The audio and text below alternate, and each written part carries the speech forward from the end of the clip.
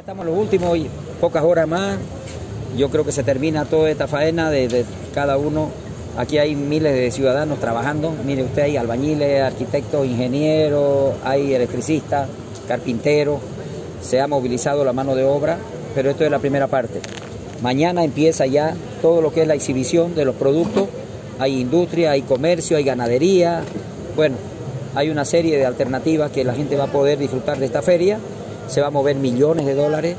Estamos apostando a que la rueda de negocio también mueva millones de dólares y que muchos de esos recursos se queden en Santa Cruz, se reinvierta en Santa Cruz y en Bolivia sobre todo, porque aquí hay empresarios bolivianos de todo el país están llegando, están haciendo también el esfuerzo de traer su, sus productos, sus maquinarias, pero lo importante de destacar es que están llegando empresarios de otros países.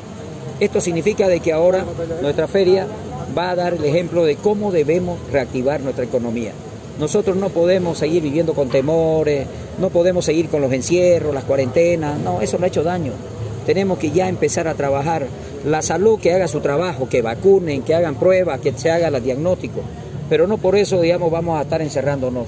Ahora Santa Cruz está dando el puntapié inicial a través de los empresarios cruceños estamos levantando nuestra economía y vamos a reactivarla y se van a generar miles de empleos, porque termina la feria y van a quedar muchos negocios públicos y privados que vamos a poder así poner nuevas fábricas, nuevas industrias, vender productos terminados, materia prima, entonces se va a mover la economía y eso significa empleo y eso es lo que estamos buscando como autoridades.